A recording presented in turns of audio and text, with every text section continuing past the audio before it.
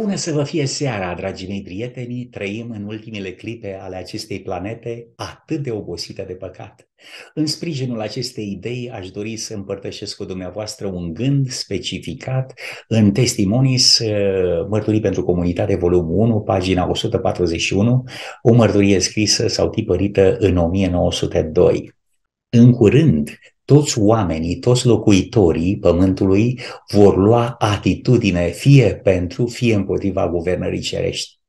Dragii mei prieteni, cam la asta ne așteptăm. Subiectul din această seară, sub titlul Profeții nu sunt Dumnezeu, a apărut din ideea venită din Evul Mediu sau Evul Întunecat, unde oamenii au ajuns la concluzia că erau atât de mulți ființi încât până la Dumnezeu te mâncau.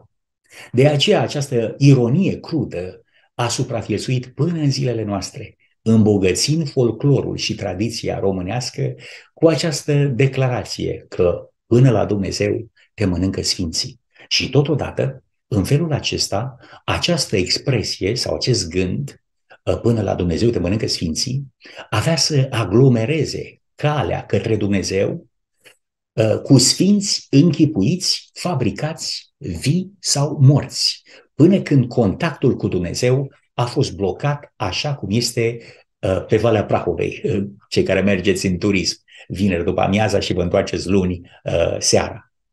Dragii mei prieteni, în felul acesta se împlinea din nou și din nou declarația Domnului nostru Isus Hristos cu referire la farisei. Voi, toți, cărturari și farisei fățarnici, vai de voi, pentru că închideți oamenilor împărăția celui, nici voi nu intrați în ea, nici pe cei ce vor să intre nu îi lăsați să intre. Această declarație din Matei, capitolul 23, versetul 13, reflectă foarte mult uh, starea religioasă a lumii de astăzi.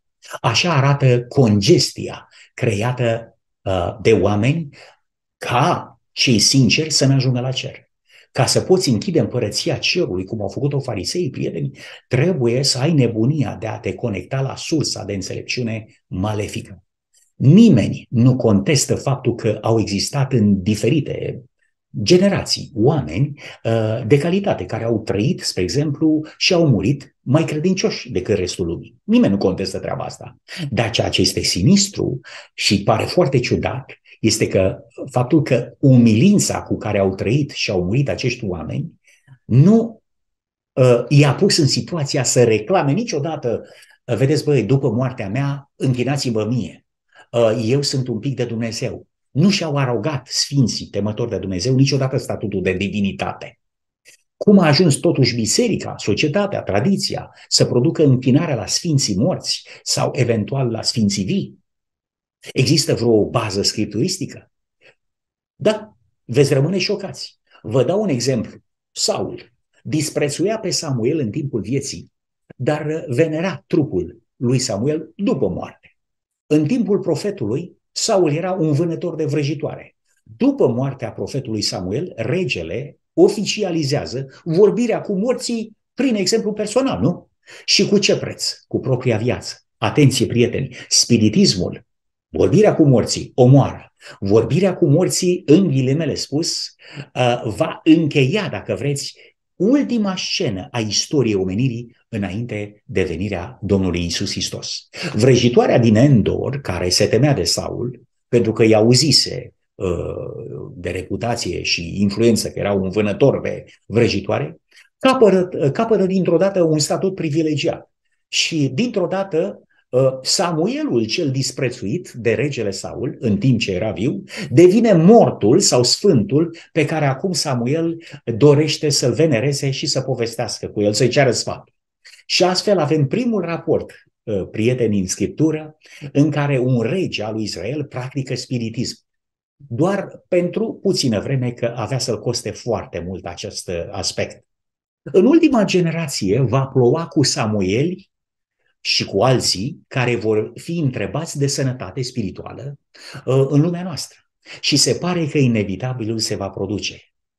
Isaia spune, dacă vi se va spune, să mergem să întrebăm pe cei ce bolborosesc și pe cei ce vorbesc cu morții, așa să ziceți, la lege și la mărturie. că dacă nu veți vorbi așa, nu va răsări zorile peste poporul acesta. Dragii mei prieteni, acum ne întoarcem un pic uh, la tradiție, la biserică, la societate și putem uh, recunoaște uh, acum sursa de unde au împrumutat uh, reprezentanții acestor instituții ideea de închinare la sfinți.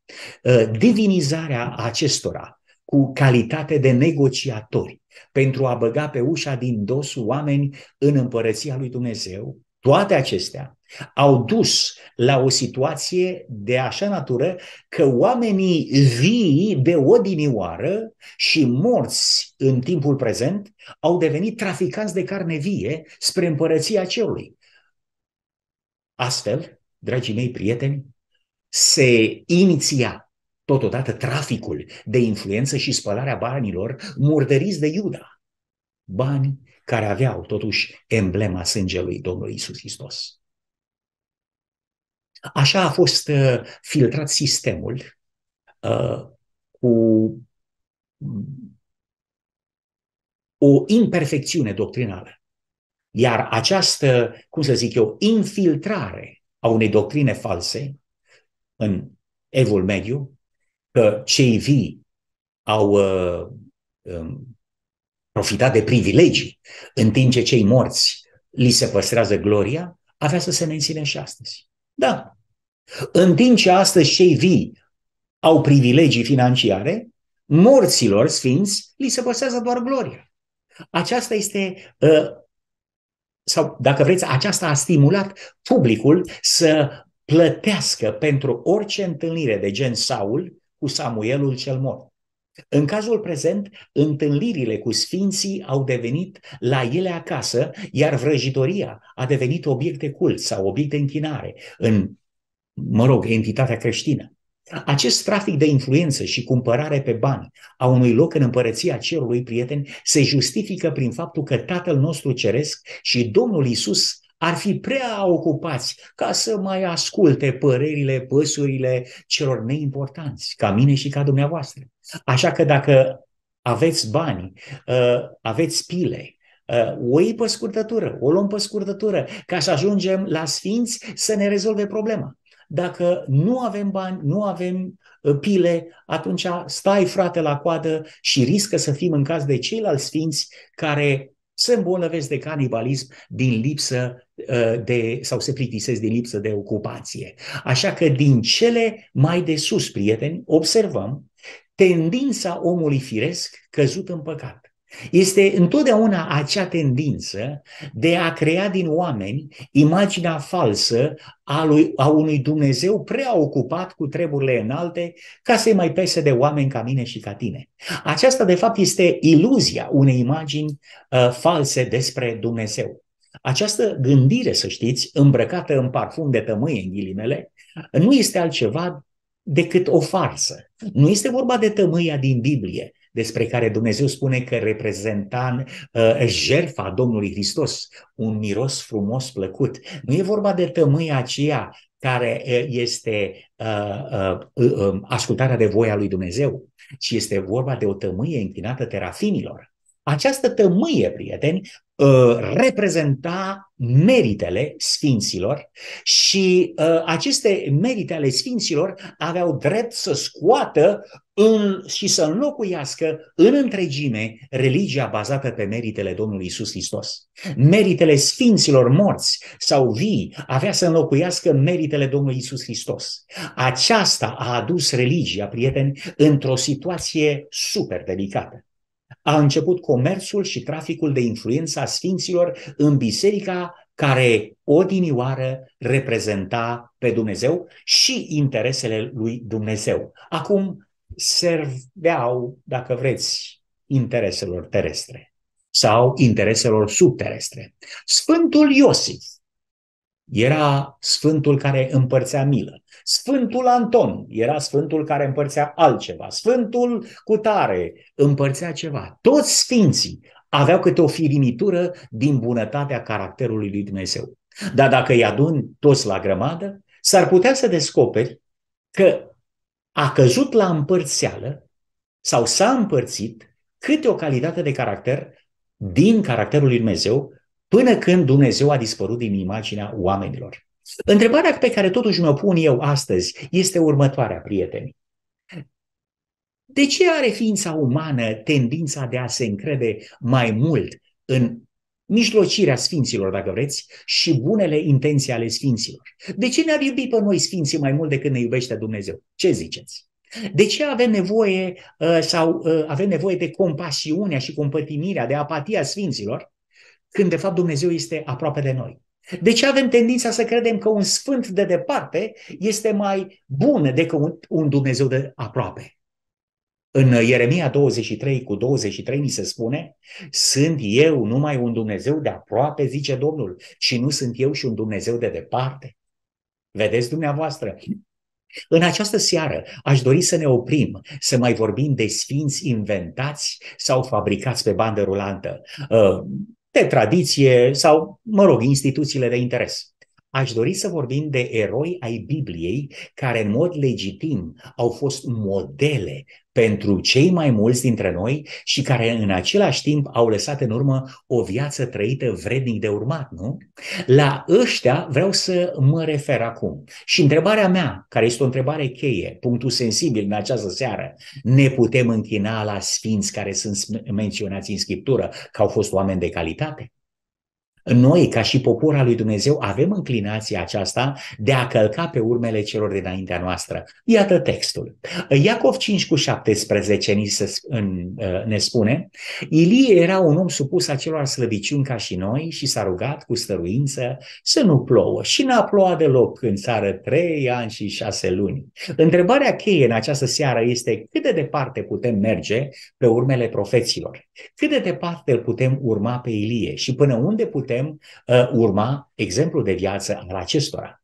Au avut profeții limite ca și oamenii, un om supus acelor slăbiciuni ca și noi, s-a rugat cu stăruință. Moise era prieten, unul dintre cele mai remarcabile personaje din istoria Vechiului Testament. Primește invitație de la Domnul pe munte ca să fie îngropat acolo.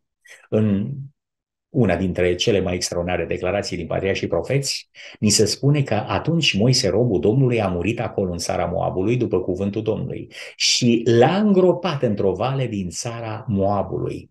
Nu spune l-au îngropat, l-a îngropat. Dar nimeni nu știa de mormântul lui. Mulți dintre cei care au vrut să asculte sfaturile lui Moise, în timp ce el era cu ei, ar fi fost în pericol de a săvârși idolatrie prin a se închina trupului său mort. Dar ar fi fost, dacă ar fi cunoscut locul unde a fost înmormântat, atunci oamenii s-ar fi dus să se închine la, la trupul lui Moise. Din acest motiv a fost ascuns de ochii oamenilor. Dragii mei prieteni, interesant este că în timp ce Moise era în viață, poporul îl desconsidera, murmura și chiar huiduia pe profetul Lui Dumnezeu cu anumite ocazii. Acum, după ce Moise moare, îi doreau trupul pentru venerare. Așa a început fabrica de sfinți în creștinism. Așa suntem noi oameni. În timp ce uh, dorim pe cineva sau chiar urâm pe cineva în timpul vieții, iubim și dorim aceeași persoană pe care am urât-o după ce moare. În timpul vieții unui profet disprețuim mesajul, dacă vreți, mesajul care de fapt vine de la Dumnezeu, doar din cauza că nu vine prin canalul așteptat. De ce nu primesc oamenii un mesaj de la Dumnezeu? Pentru că resping mesagerul lui Dumnezeu și pentru că poate chiar urăsc mesagerul lui Dumnezeu. Iată o declarație în sprijinul acestei uh, idei. Marele Ștefan uh, confirma acest uh, fapt în ultima sa cuvântare, în fapte capitolul 17, versetul 51 la 53, Oameni tari la cerdicie, ne tăiați împrejur cu inima și cu urechile, voi întotdeauna vă împotriviți Duhului Sfânt, cum au făcut părinții voștri, așa faceți și voi. Pe care în proroci nu i-a prigonit părinții voștri când erau în viață, nu? Au omorât pe cei ce vesteau mai dinainte venirea celui neprihănit pe care l-ați vândut acum și l-ați omorât. Voi, cei care ați primit legea dată prin îngeri și n-ați păzit-o. Iată problema unui popor. Un popor care are cunoștință, un popor care are lege, un popor care are expunere la lumină și care totuși nu o trăiește. Lumina prezentă Uh, adevărul prezent din Scriptură, prieteni, ne transformă după chipul și asemănarea lui Dumnezeu sau ne face ipocriți sau cei mai mari ipocriți din istoria omenirii. Asta s-a întâmplat cu poporul evreu. Deci unii l-au prigonit și l-au omorât pe profet, alții i-au ridicat altare profetului după ce a murit.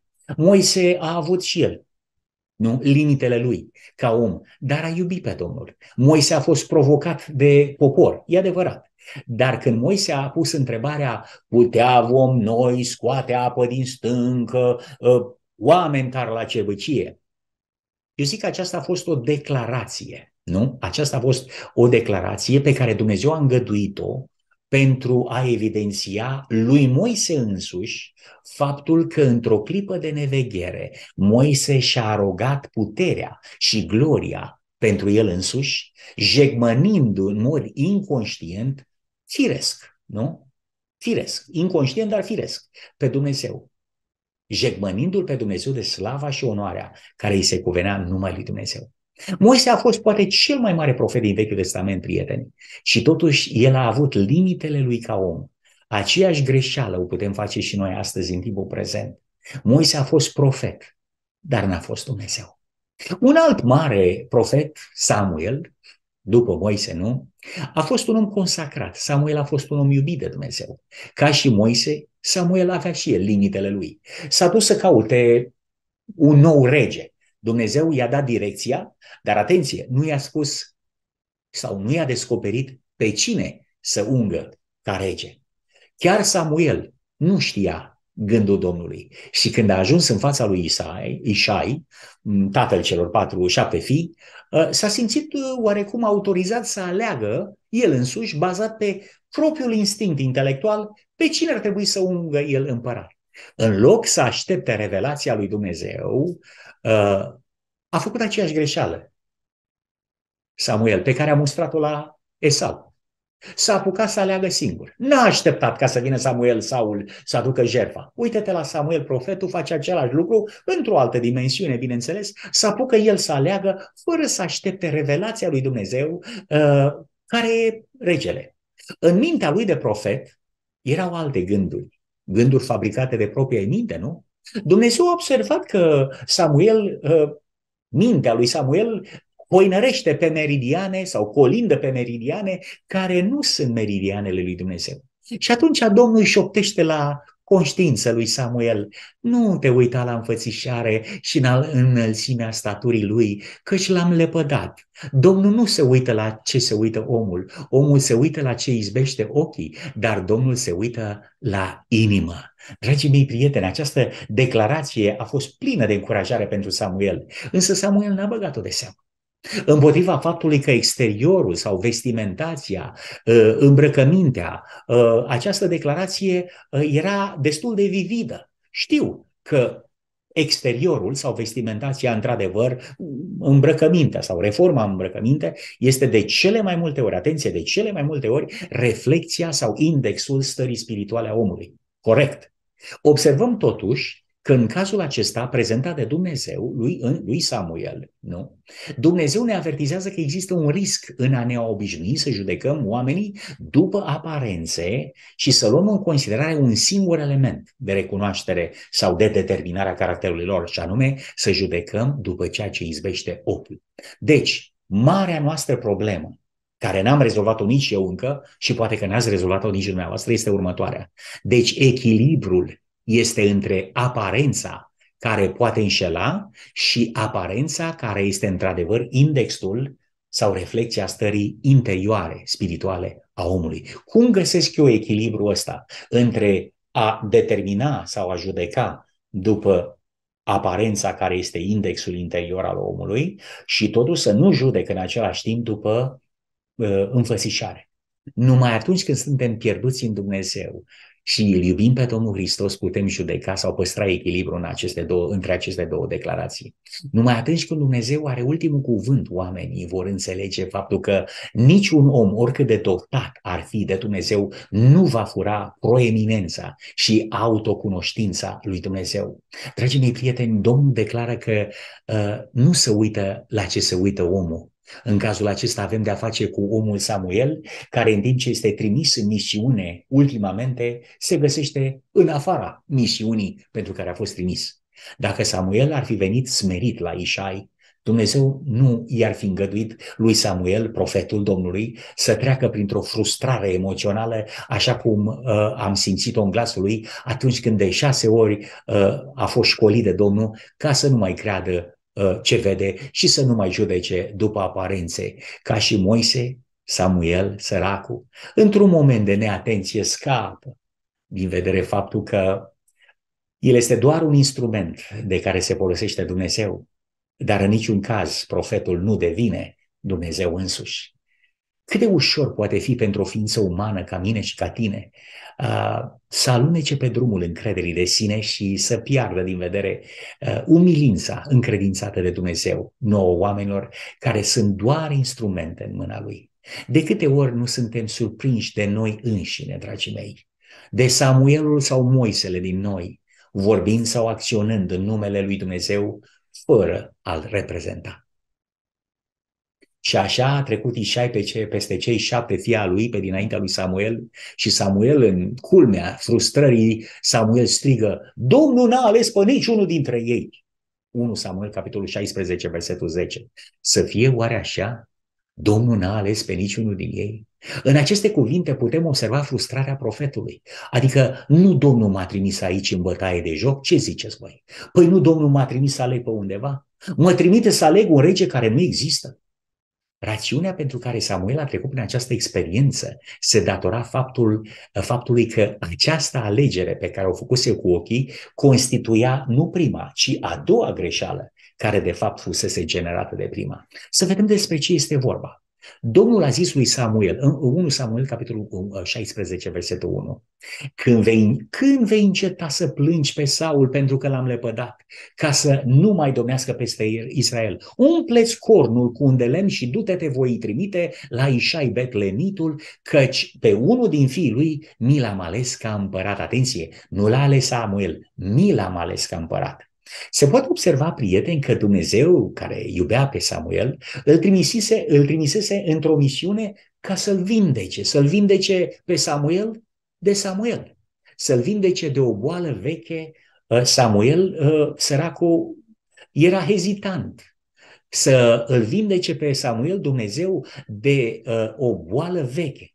Samuel știu că iubise pe Saul, așa cum o știți și dumneavoastră, datorită ce? Datorită caracterului Saul? Nu, datorită staturii sale impozante, care măgulea pe interior mândria lui Samuel, nici măcar fără ca el să o știe.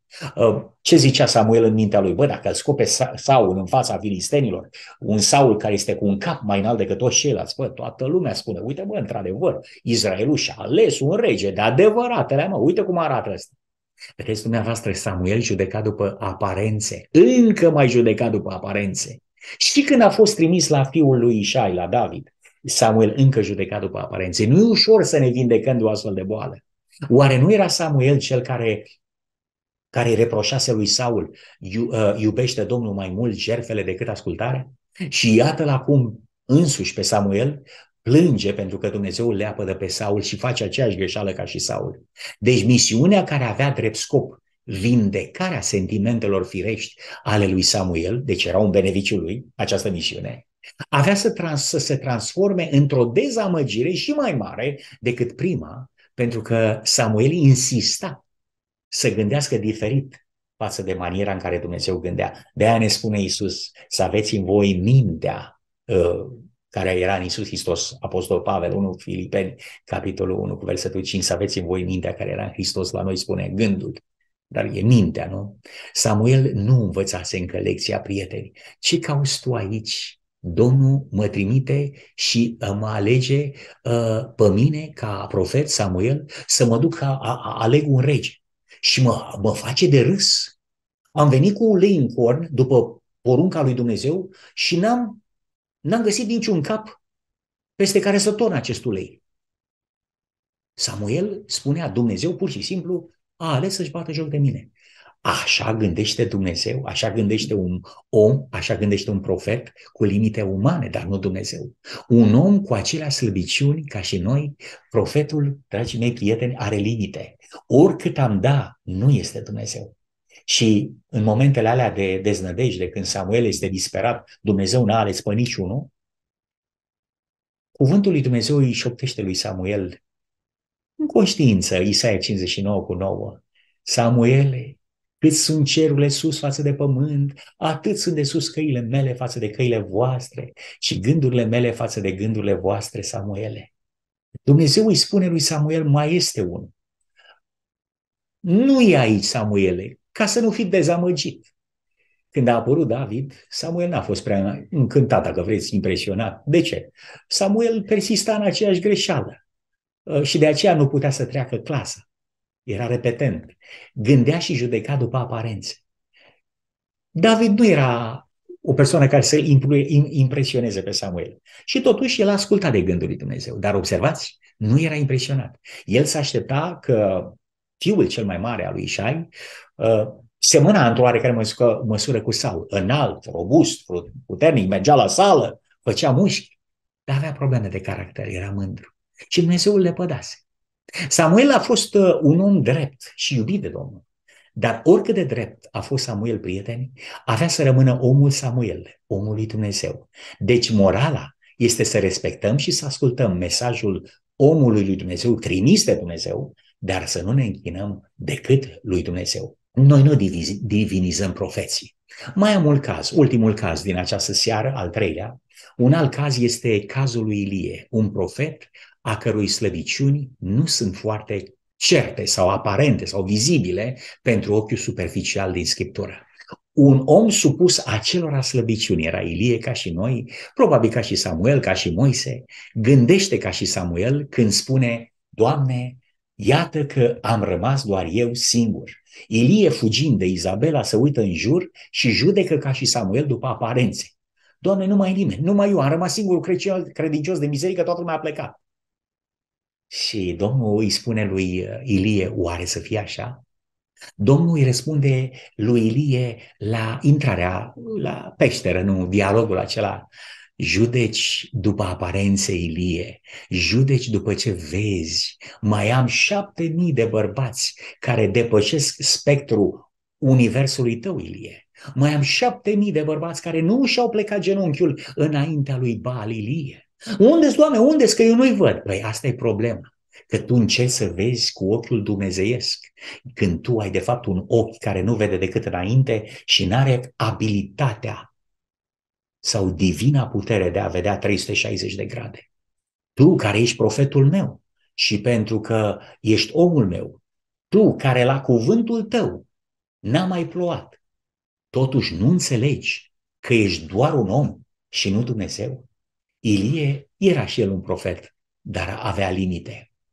Eu și tu, care suntem, zic eu, departe de a fi uh, asemănători cu profeții sau modelele de viață pe care le-au lăsat în urma lor, cum ar fi Ilie, Samuel, Moise și așa mai departe, nu ne putem compara cu ei. Avem și noi limite mult mai adânci, mai profunde decât ei.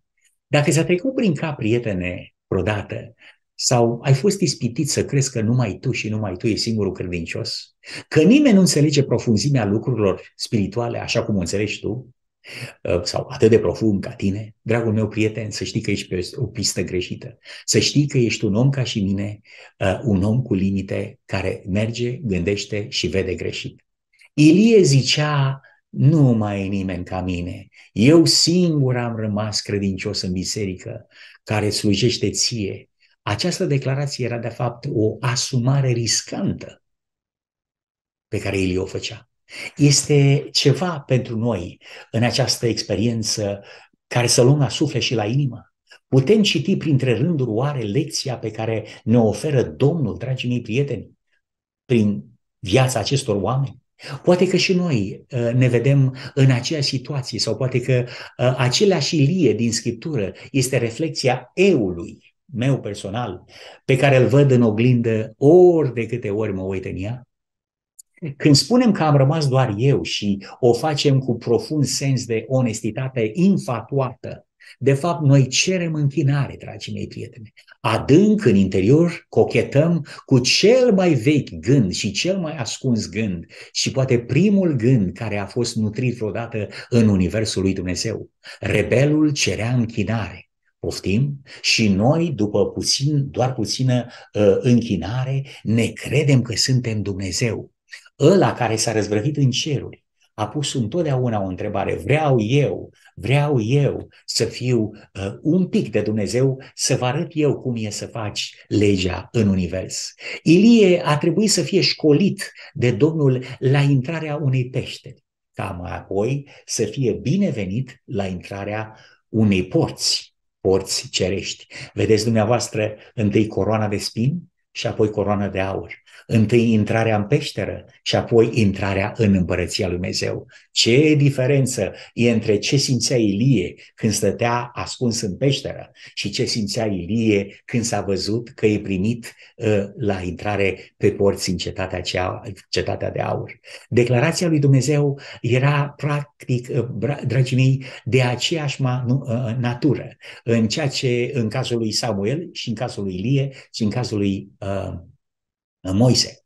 Dar întrebarea rămâne, ce faci tu aici, Ilie? Care ți-e misiunea? Unde trebuie să fii tu acum? Nu ești tu cel care pretinde că a rămas singurul credincios? Unde și are locul un credincios acum? În fața peșterii? Sau înăuntru ei, ascunzându-se de Izabela? Dacă zici că ești credinciosul meu singur, de ce nu ești în fața lui Izabela? Un credincios al meu nu fuge de Izabela. Nu trebuie să stai în fața Izabelei? Da, Doamne, recunoaște Ilie, dar am înțeles că nu sunt mai bun acum decât părinții mei. Ia în viața, îmi recunosc limitele. Dragii mei prieteni, în momentul în care Ilie a spus că nu sunt mai bun decât uh, părinții mei, ia în viața, Dumnezeu a trimis un taxi ceresc cu un car de foc. Numai s-a trezit uh, înconjurat de bucuria vieții veșnice și Ilie nu înțelegea de ce e el mântuit, că el a crezut că e bun, după aia a crezut că nu mai e bun și după ce a crezut că nu mai e bun și că nu mai are merite, iată-l în car, în, în călătoria către cer. Dumnezeu trimisese un taxi natural uh, ca să îl ducă pe Ilie la cer. Când am, am crezut că merit, n-am fost în carul de foc, eram în peșteră. Acum am crezut că nu mai merit, iată-mă în carul de foc, spre cerul ceresc. Ce se poate înțelege din treaba asta? Ei, Ilie, frate, soră, prieteni, înainte de coroana de aur este coroana de spini. Înainte de în poarta cerului există poarta peșterii. Asta este ceea ce trebuie să învățăm noi. Aceeași școală avea să desăvârșească și pe ceilalți profeți după Ilie. Vom continua uh, pe această temă uh, săptămâna viitoare, vinerea viitoare, prieteni, uh, în contextul unui subiect care se cheamă Profeții nu sunt Dumnezeu. Dar înainte de a mm, încheia, aș vrea să tragem câteva concluzii. Vedeți, dumneavoastră, Moise era un om cu limite. A fost invitat de Dumnezeu în ceruri Același Dumnezeu care l-a invitat să moară este același Dumnezeu care l-a înviat și care l-a dezgropat pe Moise. Pana inspirată spune că Dumnezeu, Domnul Hristos, se lupta pentru trupul lui Moise. Iuda, citiți cartea lui Iuda, preambulul cărții Apocalipsei. Ilie a fost și el dus la cer cu un car de foc, fără să știe că Elisei știa și el acest lucru. Deci iată că Ilie ascundea de Elisei faptul că el merge la ceruri dar nu vrea să-i spună lui Elisei. Dumnezeu nu i-a descoperit lui Ilie că Elisei știe. Ce înseamnă asta? Că în împărăția lui Dumnezeu a fost ridicat un om care mergea la cer fără merite personale și care își recunoștea limitele. Ilie era doar Ilie, avea limite, un profet cu limite. Dragii mei prieteni, totuși, așa cum suntem cu și noi cu limitele noastre, acești mari bărbați, ca și noi, au fost șlefuiți în școala suferinței, au fost învățați și ei, la rândul lor, s-au lăsat învățați de Dumnezeu în această școală a suferinței, în această școală a lui Dumnezeu, ca să poată fi mântuiți. Aceasta este minunata speranță pentru noi, prieteni. Vom fi înălțați la cer, vom fi schimbați într-o clipeală de ochi, așa cum spune Pavel în 1 Corinteni, capitolul 15. Vom fi înviați și vom ieși din peștera întunecată a mormântului, așa cum Ilie stătea din, în fața acestei peștere întunecate către veșnicie? Nu știm. Dar fie că vom fi înviați, fie că vom fi schimbați într-o clipeală de ochi, ceea ce este foarte important uh, este că raportul vieții noastre cu Dumnezeu este încheiat în pace și noi îl recunoaștem pe Dumnezeu că este Dumnezeu absolut al tuturor lucrurilor, noi ne recunoaștem limitele noastre și recunoaștem finalmente că suntem doar lutul, iar El, Dumnezeu, este olarul. Să păstrăm în minte vie imaginea acestei declarații. Tu ești olarul, Doamne, iar eu sunt doar lutul. Înainte de a ne despărți și ne ura uh, noapte bună, vă invit să avem un moment de rugăciune. Scumpul nostru Tată din ceruri, îți mulțumim în numele Domnului Hristos pentru extraordinara revelație a caracterului tău în această seară, pentru sfaturile și gândurile frumoase, pentru faptul că ne-ai învățat încă o dată ce sau care este pericolul uh, de a ne închina la oameni așa cum ne închinăm ție.